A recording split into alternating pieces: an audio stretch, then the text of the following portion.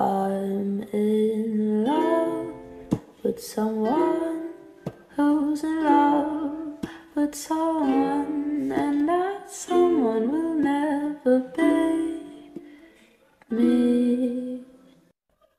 I'm in love with someone who's in love with someone, and that someone is finally.